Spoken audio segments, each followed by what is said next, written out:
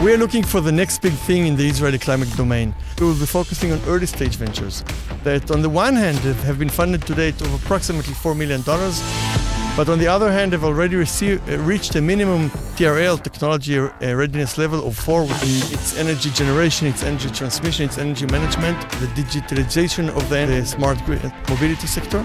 So we're looking for, for technologies within the construction uh, domain.